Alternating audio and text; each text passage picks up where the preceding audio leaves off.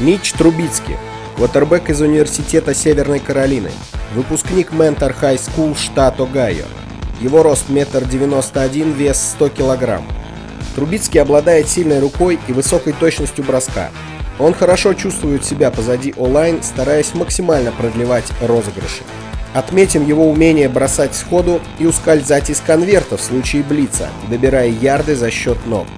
При пасе Митч использует всю ширину поля, уверенно исполняя передачи в даунфилд максимально близко к боковой линии. За три года игры в Северной Каролине Трубицкий лишь последний сезон провел в роли футболиста стартового состава. Два предыдущих он являлся бэкапом Маркиса Уильямса. Данный факт считается одной из главных проблем Митча. Отсутствие серьезного опыта может осложнить переход профессионала, сделав его более длительным.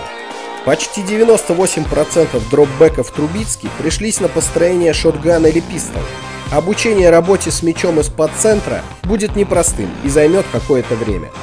Кроме того, слабой стороной квотербека является игра под давлением, что и было продемонстрировано им в игре против Стэнфорда в декабрьском Сан-Боул. Поражение 23-25, а сам Мич закончил с двумя тачдаунами при двух перехватах и точностью передач 59%. 22-летний игрок считается квотербеком двойной угрозы. Хороший пример последнего Кэм Ньютон. Сезон 2016 выдался для Трубицки ударным. Он заработал 3748 пасовых ярдов и 30 тачдаунов всего при 6 перехватах, а процент комплитов достиг 68. Это пятый показатель нации по прошлому году.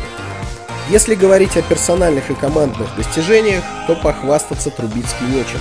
Поражение в единственном боуле и попадание в третью команду конференции ACC 2016 позади обладателя Heisman Trophy Ламара Джексона и его конкурента Дэшона Уотсона.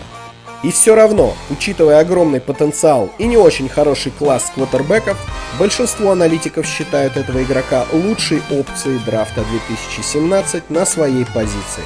Однозначно, Мич Трубицкий будет выбран среди первых 10 пиков.